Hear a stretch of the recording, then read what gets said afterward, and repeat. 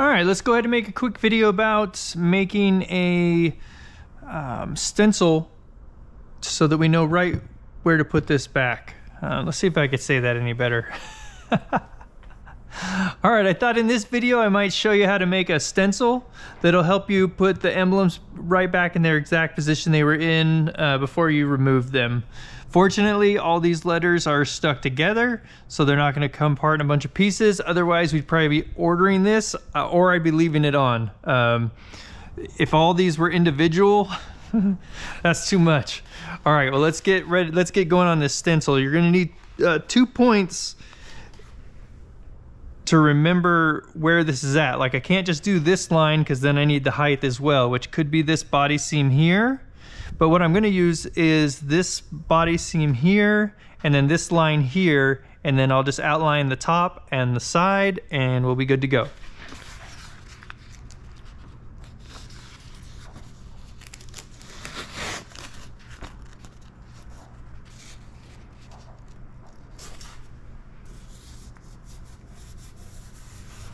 All right, so I'm just kind of tacking down along those body lines and then we'll, I just pulled it tight over this, over the lettering. And then what we're gonna do is we're gonna find this body line here. I don't know, that one's actually not working out that great, is it?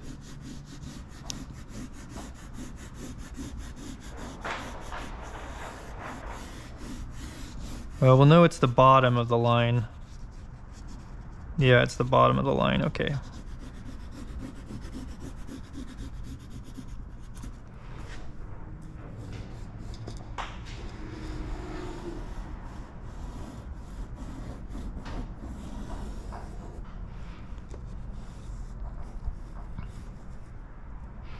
So I'm not a huge fan of this line, so I'm gonna make another one I'm gonna go, see there's this body line here, and then I'm just gonna go ahead and put a little line right there to show me where that lines up, and then I can really just use this line and this one for placement. And then we'll go ahead and take the front of this badge here, and we'll run our blade around it like this.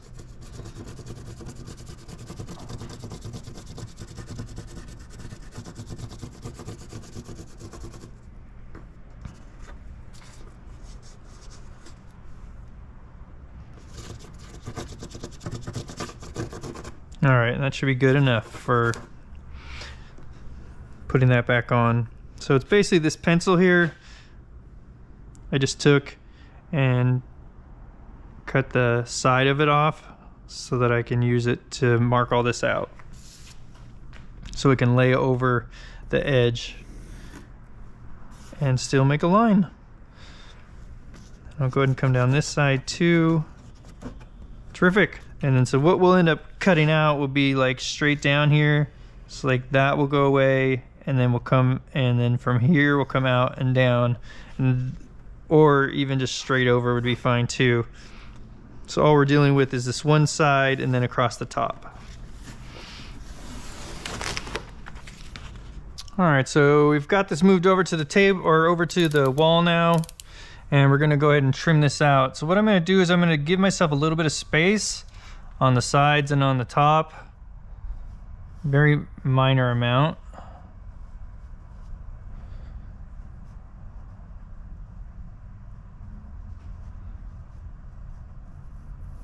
Okay. A little bit more space on this side. Oops. I'm... Okay.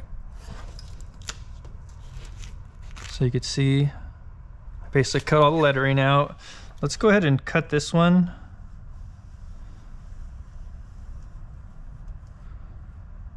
And then you know what? Might as well cut this one as well, just over the edge. Okay. Let's go set this back in place and get this badge on here.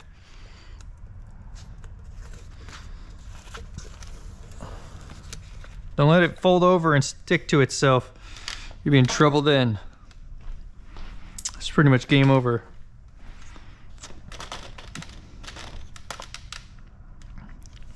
Okay. So we know that this line is going to need to line up here with this body line. So I'm gonna do the, put that right in place and hold it with this finger and then I'll make my adjustments going up this. Something like that. And then the rest of this should just lay out fairly smoothly. That looks really good.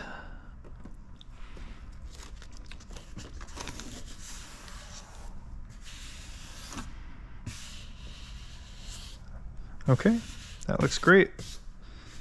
Now our piece goes right back in there. Let's grab it and do so with it.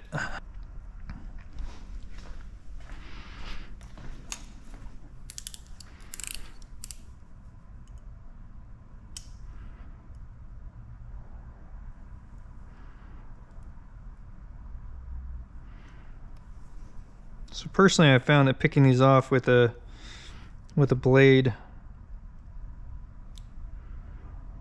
is easier than any other method of removing the backing from this stuff. This 3M double sticky tape, I hate getting all these little pieces off of the material, all the backings off.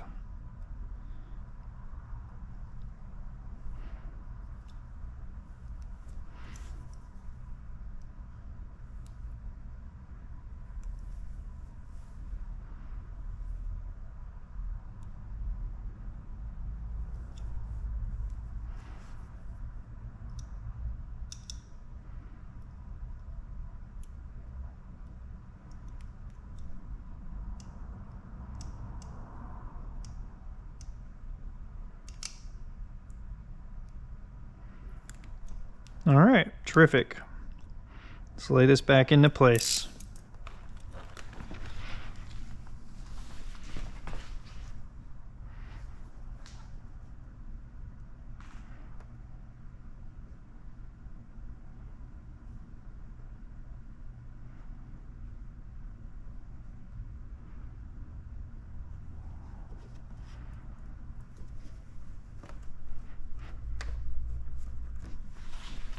Okay. So you can kind of put one part down and if you don't push too hard, you'll be able to move this part around like up and down, maybe a little bit back and forth, but more of the up and down part.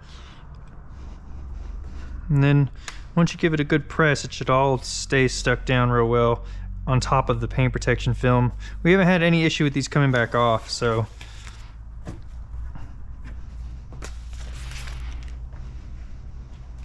All right, well, that's our process of making a template for where these badges go. Um, I'm pretty sure in this one, we're also gonna show you the Wagoneer if I haven't already done that uh, before this badge. But uh, appreciate you taking a look. If you found anything useful or helpful, like and subscribe, and we'll see you on the next one. All right, so let's go ahead and take a look at how to make a stencil for this Wagoneer lettering so that we can get it back on there straight. So what I've done is I laid a piece of transfer tape onto the hood that's covering the bottom edge as well as covering up part of the lettering. And then I marked my first line down across the bottom of the hood and that'll make sure that we've got a nice, you know, that we put this back on straight and then we'll come back in a minute here because we do need those two reference points in order to get this lined up correctly and measure the center. So right now what I've done is I've pushed the material up into the bottom of the letters and I'm actually marking them right where they meet the hood. And so currently I'm just doing the bottoms and then after I measure the center I'll come back and I'm gonna um, mark these out just a little bit going up the lettering. That way we can make sure to get the lettering nice and straight and make sure that none of the letters are angled a little bit as they go across the hood. So here I am measuring out the center.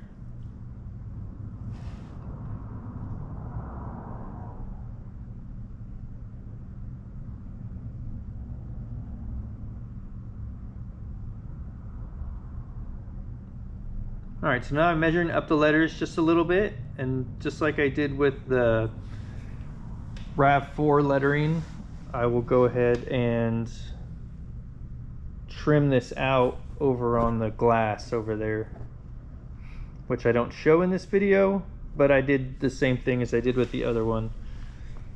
In this one here, we're showing, demonstrating just a little bit on removal of the lettering.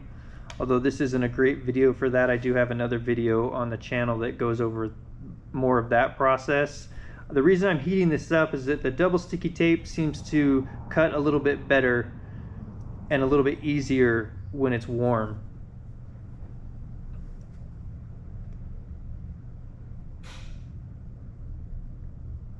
All right, so I'll also put a link to this tool as well. Just got something I got off Amazon and it helps cut through that double sticky tape so you can pull the lettering off. And as you can see there, as I get to the end of the of cutting through that, I do go ahead and grab the letter with my other hand because if you just pull all the way out, that those letters go flinging wherever they want to go. Now this is a something I was doing here to remove this adhesive off of the hood and that's just using your finger to push that adhesive and kind of smudge it and smudge it and smudge it. And you can get the double sticky tape off like this as well. We don't I don't use that technique anymore because it does really mess your fingers up. We went ahead and bought all the tools to do that correctly. So now we have that rubber eraser wheel that makes it much easier to remove that leftover adhesive.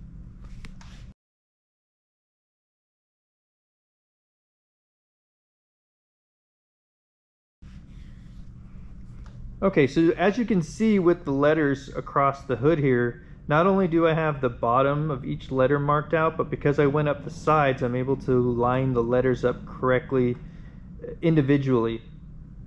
And it's not such a big deal on something like an A or even the W really because those are flat across the bottom. But when you get into other letters like the G or the O it's nice to have that reference going up the sides as well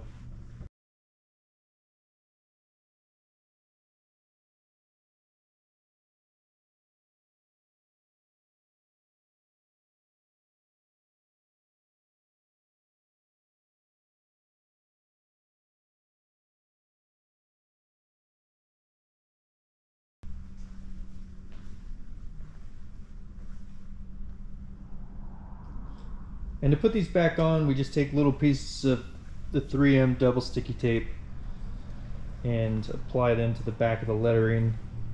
And that stuff sticks incredibly well to the paint protection film. And we have not had, like I said in the earlier video, we haven't had any issues with any of these letters coming, coming off ever. So they stick really well. Now if you've had you know, if you're going to have to do some ceramic coating, you definitely want to get these on before the ceramic coating because otherwise they probably going to have a hard time sticking.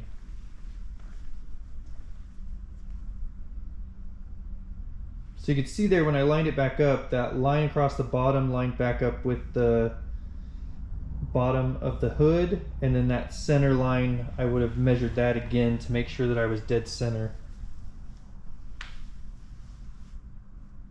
when I laid this transfer tape back on the vehicle.